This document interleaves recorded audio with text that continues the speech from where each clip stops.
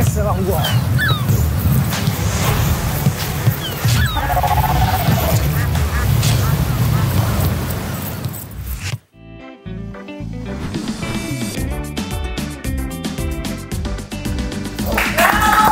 Buena, buena. Bueno, mi gente, un rato con el pibe. Otro campeón de la Copa América 2001. El único trofeo de mayores que tenemos. Tenemos un crack. Me tocó la oportunidad de verlo jugar y ya ustedes conocen su carrera deportiva y es de los jugadores distintos y diferentes en el fútbol mundial. Para mí es un honor tener a Mau Molina. Aquí lo tenemos. Gracias, Carlos. Gracias, hermano. Gracias. Bueno, no, para mí es un orgullo y eh, poder estar acá contigo. Eh, te agradezco mucho de antemano por la invitación. Eh, ídolo de infancia, vimos todos aquella selección que marcó un camino para las generaciones siguientes. Y pues, pues bueno, te agradezco mucho por la invitación de nuevo. No, al contrario, Mau, para mí es un placer y un honor. Es un, mejor dicho, un homenaje que le estoy haciendo yo a los muchachos que quedaron campeones. Que Qué- quedaron campeones, que merecidamente tenemos el, el único trofeo en la selección de mayores y en esa selección estás tú.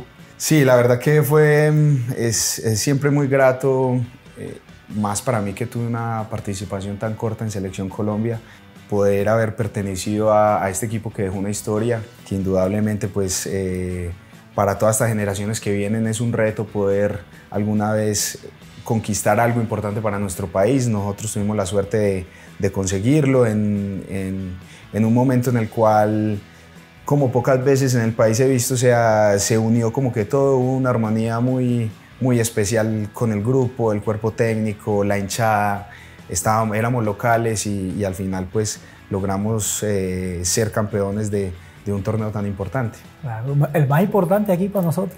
Sí, Claro. Sí, es. La Copa América. sí, de- algunas veces lo tratan como de, de men- menospreciar un poco porque creo que fue Argentina el que no vino, Argentina y Uruguay. Sí. Bueno, por los problemas que habían en, ese, en esa época de, de seguridad.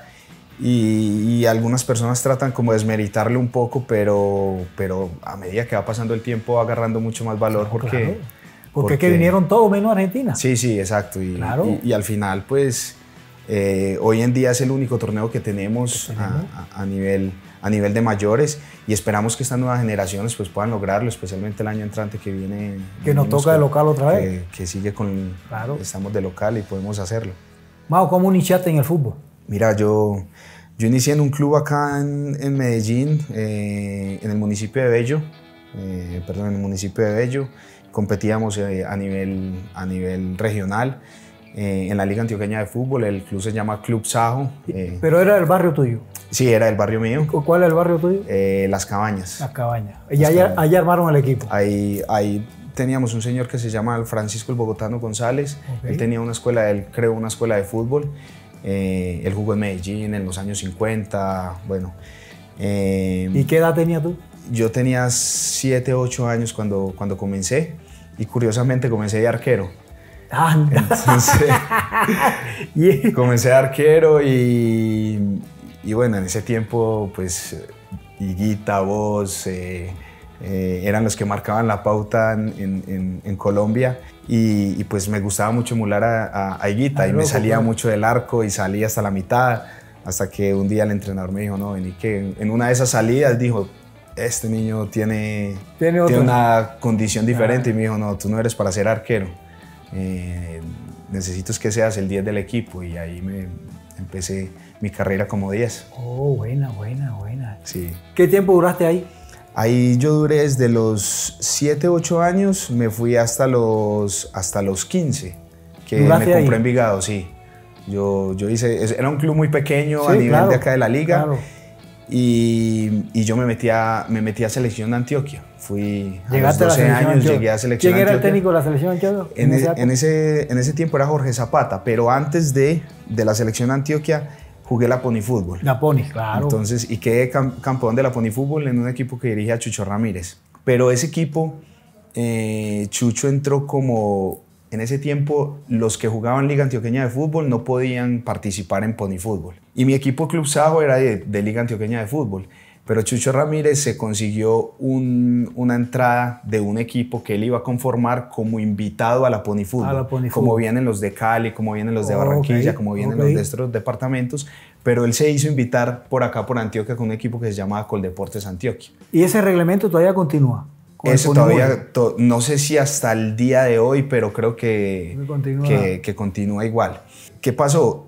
Él lo que hizo fue sacar una selección Antioquia, nos reunió a 200 pelados de los equipos de la liga antioqueña y, quedamos 20. Ahí fue que yo dije, uy, vení que... la cosa va en serio. Claro, ahora sí, va en serio, que entre esos, entre esos seleccionados... Claro, de 200 a 20. Y fuimos, jugamos la Pony Fútbol y quedamos campeones. Y nos hicieron un solo gol en todo el torneo, la rompimos en el torneo porque éramos una selección Antioquia. Claro. ¿Y, de, ese grupo de los muchachos así, no llegaron así los otros? No. por ahí estuvo un, chico Johnny Vanegas que llegó hasta Envigado, pero realmente yo fui el único que, que terminé siendo, siendo profesional. Y ahí después de ese, de ese pony fútbol escogieron la selección Antioquia inmediatamente después y ya había una base conformada por ese equipo y, y, entonces ya ahí te metiste en el grupo. En el grupo de selección Antioquia. ¿Y qué tiempo duraste en la selección Antioquia? Hice toda la base desde infantil, prejuvenil y juvenil. Lo que pasa es que cuando ya después de esa infantil pasamos a prejuvenil, quedamos campeones departamentales, yo era el capitán, quedé goleador, todavía pertenecía a Club Sajo y ahí vino Envigado y me compró. Te compró. Cuando tenía 15 años. Después de esa prejuvenil, esa prejuvenil fue la base para hacer la selección Colombia Sub-17, que jugamos en Paraguay con Javier Álvarez cuando Javier, Álvarez empezó el, el, inicio en la, en la, selección Colombia. Y después de que vinimos de ese torneo de suramericano, ahí ya Envigado me puso a debutar oh. fútbol profesional, tenía 16 años. ¿Quién era el técnico de Envigado? Barrabás, ah, Barrabás Gómez. Ah, fue el que me oh. puso a mí a debutar. A debutar. En Envigado ahí estuve desde los 16 hasta los 21, casi que todo mi proceso formativo, terminé mi proceso, mi proceso formativo hasta convertirme realmente en un profesional, porque esos 4 o 5 años oscilé mucho. Unas veces jugaba, otras veces no. ¿Y diferente el cuerpo técnico? Eh, sí, diferente. Estuve a Pelufo, tuve a Hugo Castaño, eh, ya te había dicho Barrabás. ¿A Pedro no te tocó? Eh, Pedro, me tocó en Medellín. En Medallo. En Medellín. Entonces ahí ya en la última época que hice ya con Hugo Castaño, ya me logré consolidar y era el capitán del equipo también muy joven. Y ahí ya fue cuando me llamaron a la selección Colombia cuando tenía 20, iba a cumplir 21 años. Y me llamó Pacho porque estaba haciendo un torneo excelente te hizo ese Envigado. Ajá. Y después de Envigado te va para Medalla. Ahí en Envigado me voy para Santa Fe. Ahí pasó una, un hecho curioso. Eh, yo cuando estaba en Envigado ya prácticamente estaba listo para ir a Nacional. Ya el negocio lo habían acordado entre Gustavo Pegui, que era el dueño de Envigado, con Samuel Calderón, que era el antiguo presidente nacional y la Junta Directiva Nacional no aprobó mi, mi, compra, porque yo después de la Copa América terminé con pubalgia. Yo ya venía arrastrando una pubalgia. Y lo que yo me enteré fue que el, eh, la Junta Directiva Nacional no había aceptado esta compra porque decían que yo no iba a volver a jugar fútbol, que tenía una pubalgia desde muy joven y y bueno, la negociación se canceló y ahí terminó yo yendo a Santa Fe. ¿En qué año fue a Santa Fe? Eso fue 2001, después de la Copa América. Inmediatamente terminó la Copa América, yo ya me presenté a Santa Fe. Santa Fe. Y estuve seis meses ahí peleando todavía con la pubalgia, Pecoso. Ah, Pecoso. me tocó con la figura de Pecoso. Y ya tuve esos seis meses peleando con la pubalgia, lastimosamente no pude, no pude estar a plenitud física. Los primeros partidos me fue muy bien, ya después me tuve que retirar por esto y me operaron. Terminé operado y el día que estaban, eh, que fue la cirugía, que ya estaban en, en, la, en, la, camilla en el hospital, prendo el televisor, las noticias, la muerte de César Villegas, el antiguo dueño de Santa Fe. Claro, claro, el presidente. ¿eh? Ajá. Cuando lo matan a él, yo regreso a Envigado, porque ya la familia no quería saber nada más de fútbol y él todavía no había acabado de, realizar los pagos que había hecho por mí. Entonces yo regreso a Envigado y Envigado ahí es que me presta el Medellín. Me llamó Javier Velázquez, que era el presidente en esa época del Medellín. Y, ¿El técnico quién era? El técnico, cuando yo llegué, era Juan José Peláez, pero yo llegué el primer semestre del 2002, los últimos partidos, como tres partidos nada más. No, no clasificó el equipo a los ocho y ahí se fue Juan José Peláez. Ahí asumió Reinaldo Rueda. Estuvo con nosotros los primeros partidos del campeonato, nos estaba yendo muy mal y ahí a él le sale para ser entrenador de la sub-20 de Colombia y él se va a, a, dirigir la selección sub-20 y ahí el, el, equipo lo asume Víctor Luna y ahí fue que ya nos fuimos en ese semestre quedamos campeones. Quedaron campeones ahí. En el 2002. ¿En Medellín duraste qué tiempo? De, duré ese resto del 2002 y el primer semestre del 2003 que jugamos la Copa Libertadores, en aquella Libertadores que llegamos a semifinal. Eh, y después de esa, de esa Libertadores, pues mi dueño, que era Envigado, me vendieron para Morelia de México. Experiencia muy, muy difícil. Complicada. Muy complicada, sí. Yo siempre hablaba con el director deportivo del equipo y él fue el que me convenció de ir allá. Inclusive él viajó, en un, estábamos en una concentración acá en Llano Grande con la selección Colombia y él viajó para cerrar el negocio y acá personalmente hablando con él me convenció de irme allá. Eh, cuando llego allá me doy cuenta que el entrenador no me había pedido. Uy, ¿Quién era? Era Romano. Ah, Romano. Eh, yo fui y, de una percibí que el entrenador no, no, me había pedido. Ahí a los días tuve una reunión otra vez con el director deportivo y me dijo, me dijo, sí, Mao, el entrenador no, este fue un pedido de nosotros, el presidente y yo apostamos por ti, fueron fuimos los que te trajimos y él no, no, aceptaba. Entonces ya empezó una lucha de poderes entre los dirigentes y el, y el entrenador por culpa mía, porque, el, porque el presidente le decía que me pusiera y él decía que no. Y yo entré en medio de ese conflicto y, y al final terminé con muy poca participación ese año. Y bueno, ya se fue Romano, y ya otro entrenador que llegó ya dijo que no me, que no me conocía, que no me quería y terminé yéndome de Morelia después de tener contrato de tres años. ¿Y te fuiste para dónde? Ahí me fui para Emiratos Árabes, para Alain, un equipo que se llama Alain. Me fui y estuve seis meses también una, ahí después de esos, de la salida para Morelia entré como en un bache de tres años donde no me fue muy bien y donde mi carrera se vino a pique. Pero era por los movimientos de... Sí, porque ya después de un año de que no te va bien en México, después creo que la elección no fue buena en haberme ido para Emiratos Árabes.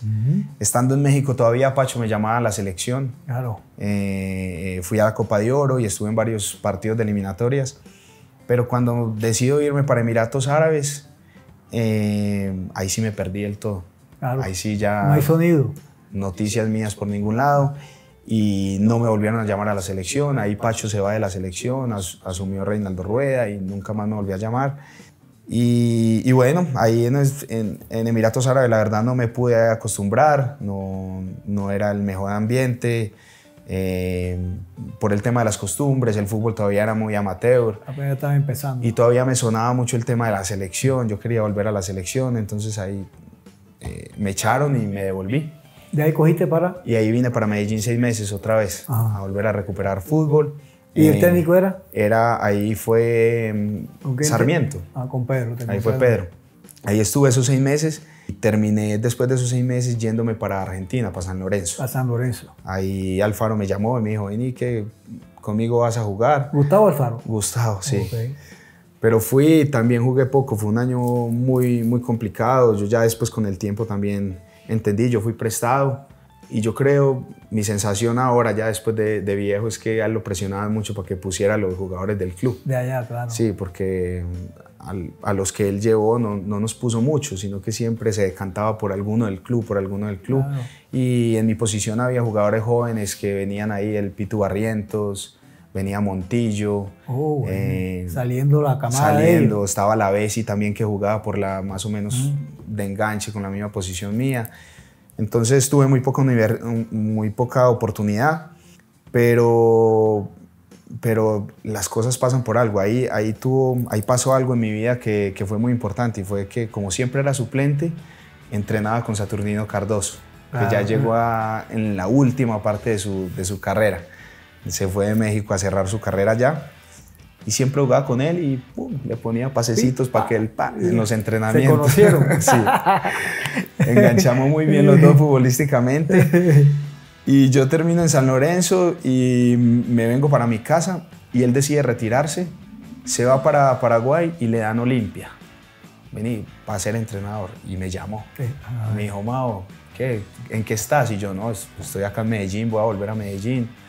Me dijo, no, venite conmigo, venite conmigo que yo te quiero conmigo.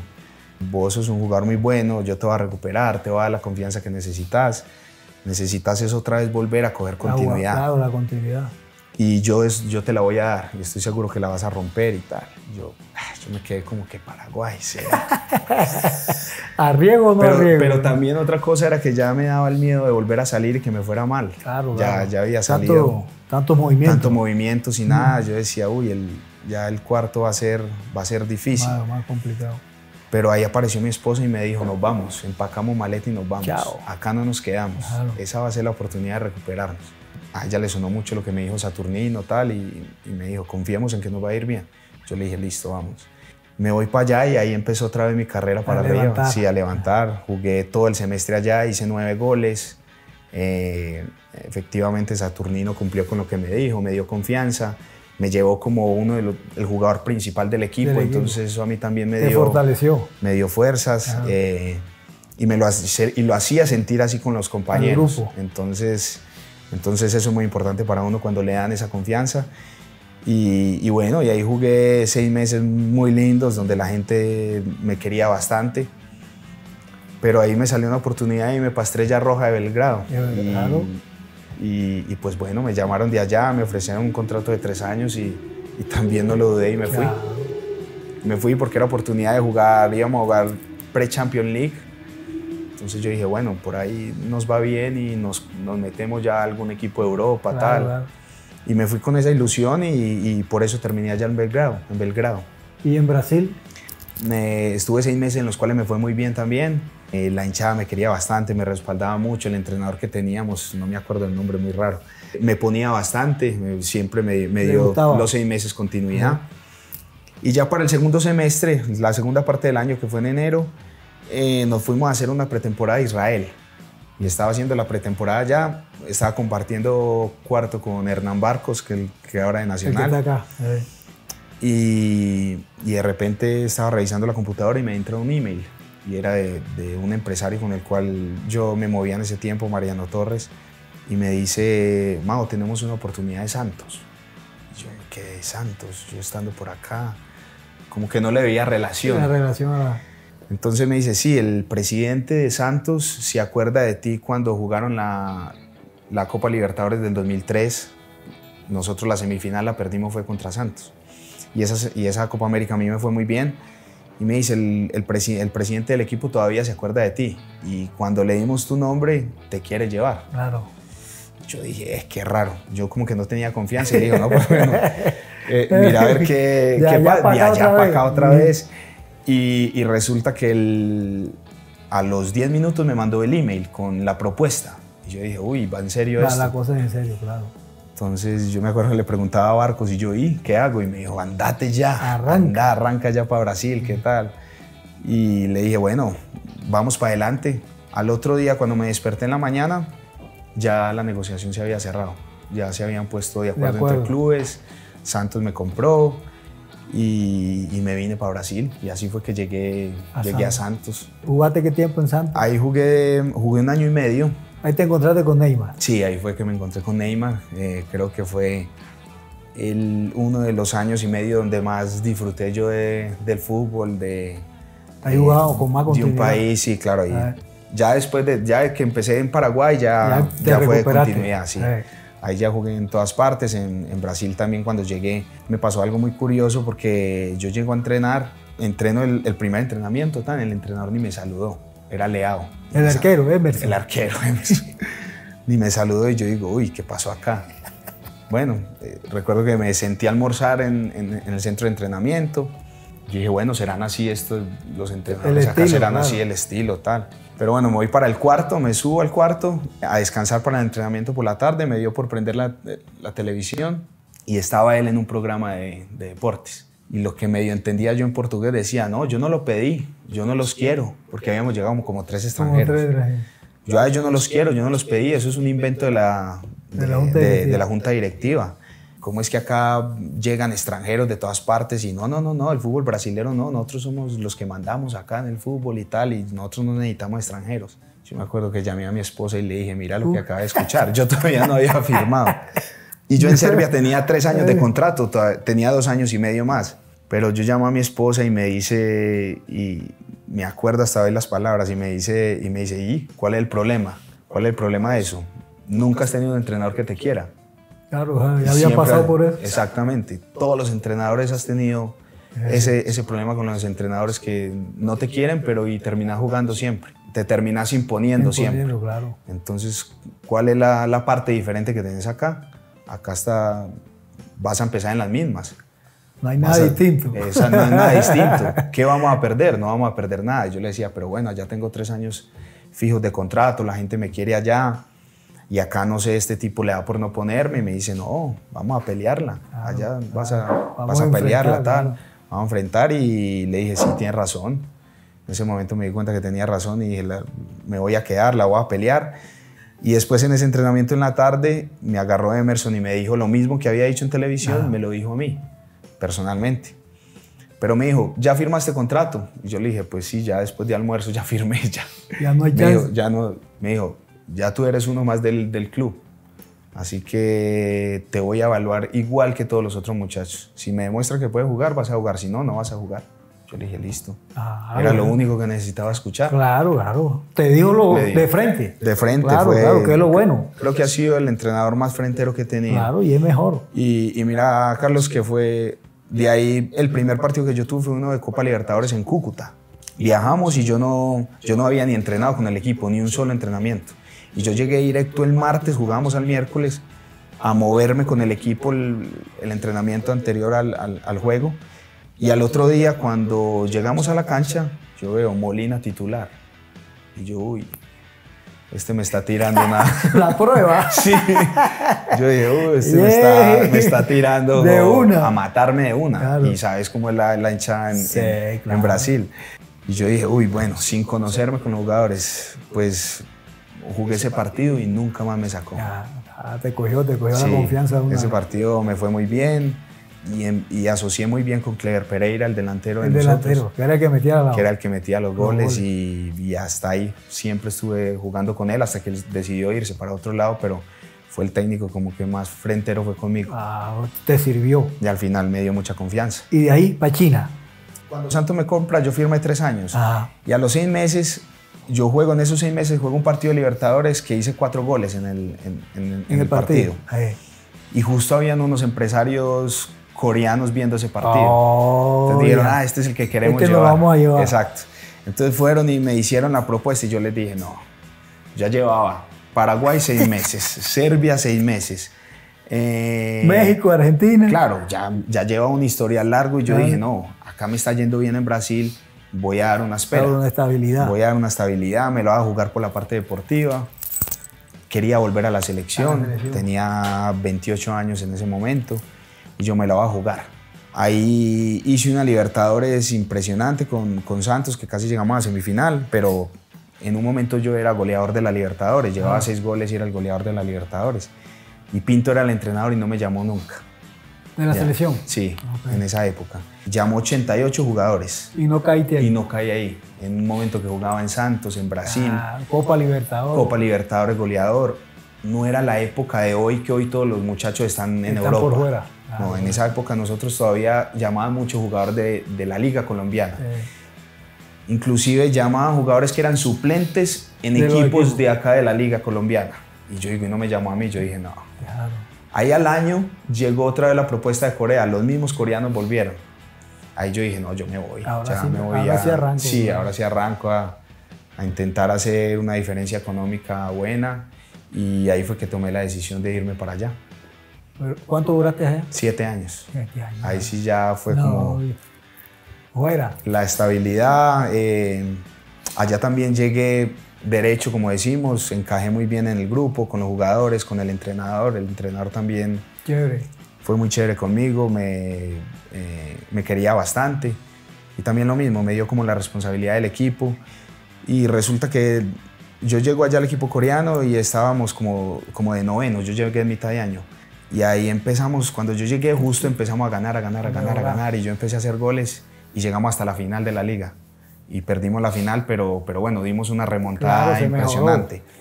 Entonces ahí como que cogí bastante fuerza dentro de la liga, con el equipo.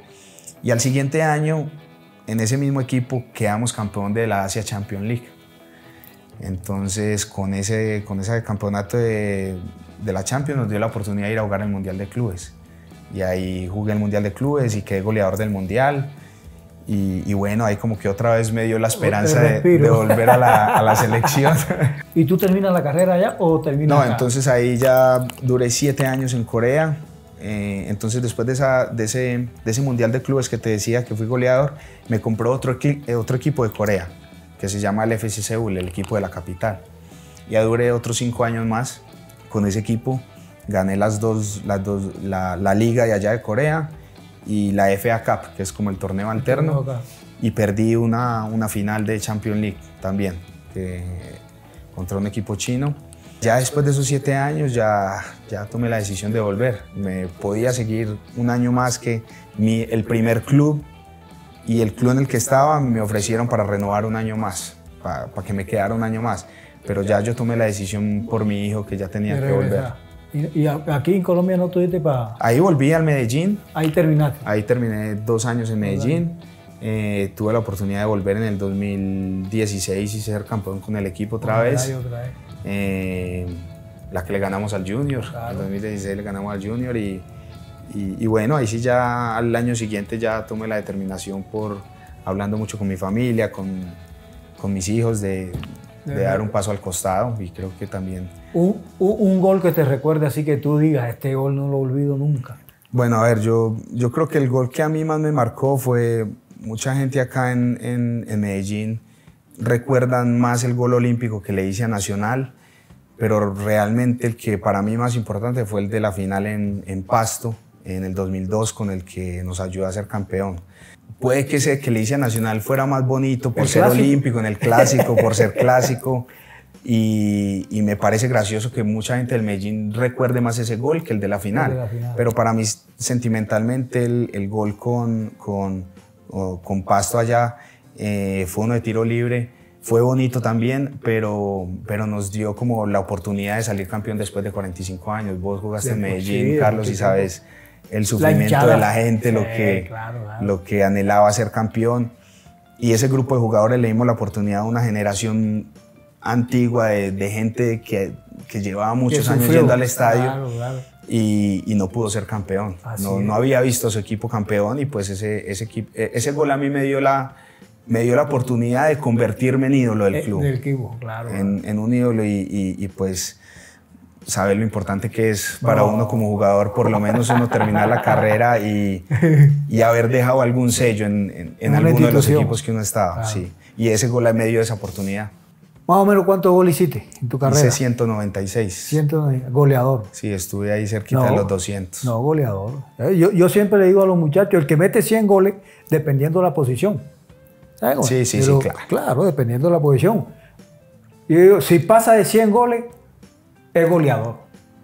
Sí, sí, sí. Claro, porque entonces me pone, mierda, porque yo hablo con el loco Higuita, el loco Higuita metió 56. Imagínate. Y entonces, no, usted es goleador. claro. Usted es goleador, porque es que usted es arquero. ¿Me explico cómo es? Entonces, porque nosotros jugamos de eh, volante ofensivo. Sí, sí, sí. Tenemos volante defensivo, volante ofensivo y los delanteros. Entonces, ese los delanteros, bueno, porque los delanteros yo, yo le saco cuenta. ¿Usted en qué posición juega? Delantero. Todos los años, si eres delantero, mete 10 goles. Ajá. Para ponerlo bajito. Bajito. Para ponerlo bajito. Si juega 10 años, son 100. ¿No así? Sí, sí, sí. ya eres goleador. Ya. los delanteros tienen que ser goleadores. Sí, mira que lo que vos decís, nosotros éramos volantes ofensivos y no era la prioridad. Claro. Pero yo también siempre estuve en esa, yo estuve como en la transición de, generaciones en la cual después de tu generación nos costó encontrar el 10. Claro, claro. Y empezó el cambio, el cambio aquel de que ya el fútbol era más dinámico, en que los entrenadores ya no tenían como que con mucha referencia con un 10-10. Eh.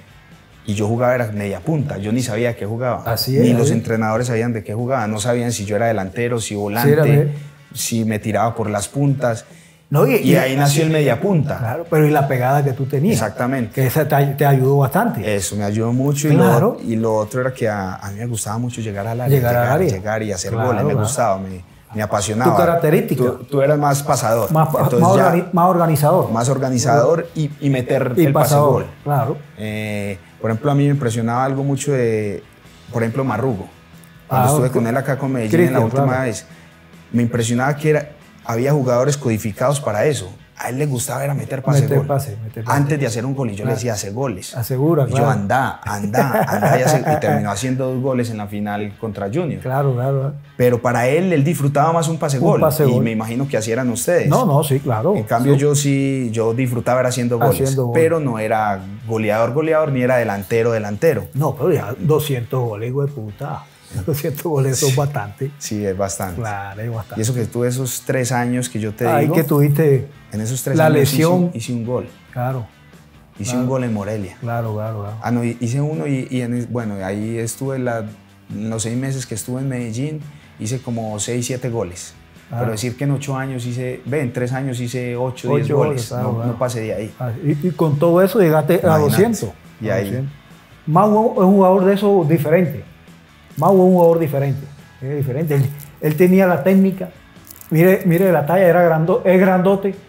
Él no tenía problemas, no, que es chiquitico, de que es flaquito. El man que estaba conformado para hacer. ¿Tiene cómo es? Y más tenía una pegada, de puta, una pegada be- bendita. Sí. Es sí. una pegada bendita. Hacía gol de tiro libre, gol de tiro de esquina, penalti.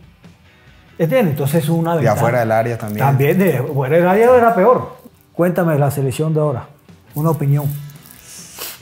A ver, la selección, yo creo que puede ser que suframos un poquito con la, con la transición, Transición de entrenador, porque especialmente con estas últimas convocatorias ya se está viendo más o menos como la idea que quiere Queiroz, que quiere equipos mucho más directos, más dinámicos, eh, muy rápidos por las bandas, muy al estilo europeo Europeo. y se sale un poco de, de- de nuestra, estilo nuestro. De nuestro estilo, del estilo que marcaron ustedes, eh, que es el que nos ha caracterizado toda la vida. Claro, lo identifica a nosotros. Claro, entonces ya uno ve que- él, que él está marcando una tendencia diferente.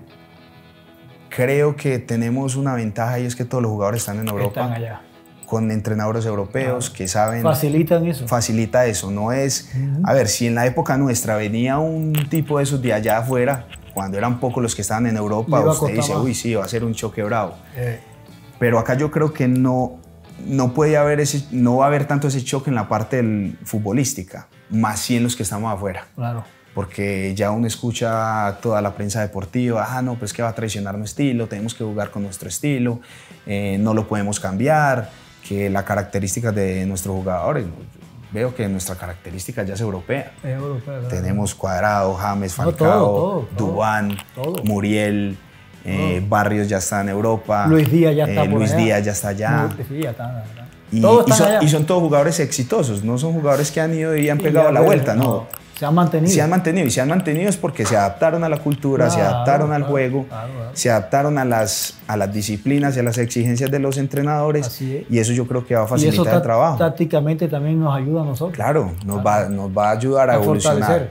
Y, y mira que yo con Peckerman todavía veía que, que muchas veces los jugadores hacían lo que como les parecía. O sea, es más al estilo suramericano y tal.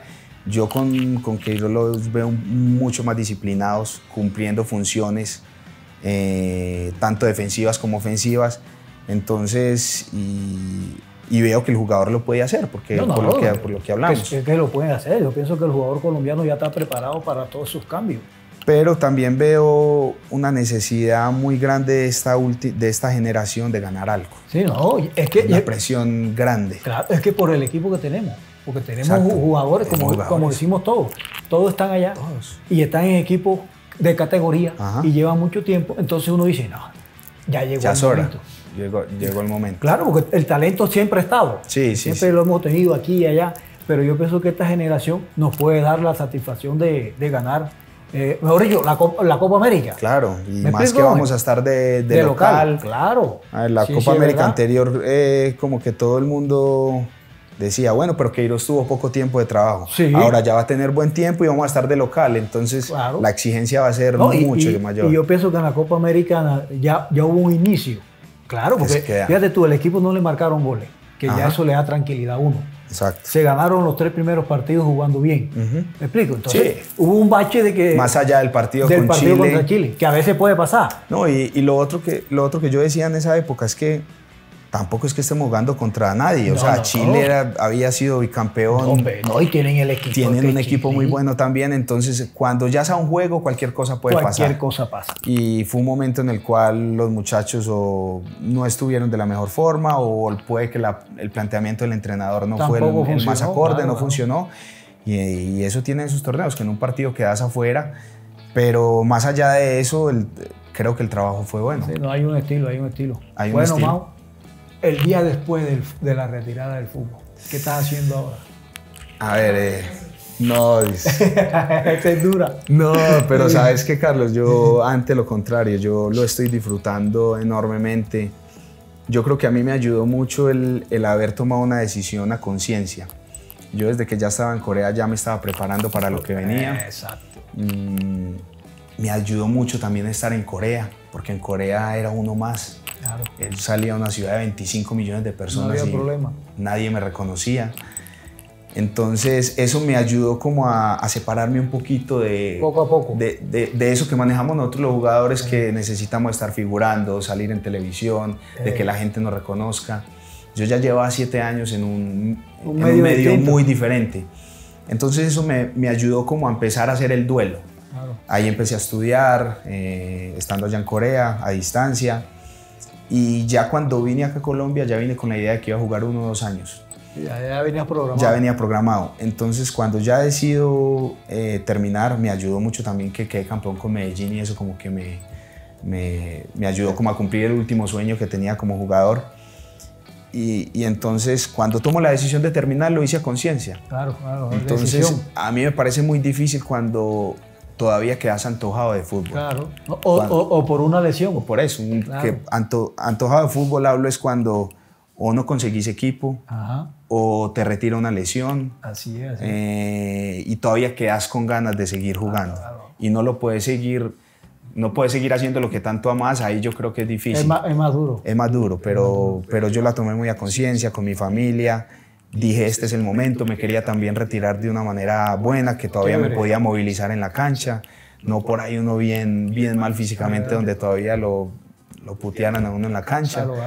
Entonces, eh, salir así bien me, me, ayudó mucho como a hacer el duelo más rápido, es obvio que muchas veces se extraña, pero, pero no, yo ahora estoy feliz, disfruto de mi familia, he viajado bastante, sigo estudiando, y eso me ha dado muchísima tranquilidad. Ah, bueno. A los muchachos que están casi, casi. A ver, yo, mi mayor recomendación es, es prepararse, o sea, empezar a hacer algo alterno al fútbol. nosotros, pues. nosotros los futbolistas tenemos mucho tiempo. Solo que no lo aceptamos. Nosotros decimos, no, es que nos mantenemos no hay con mucha cosa, mucho tiempo, no, nada.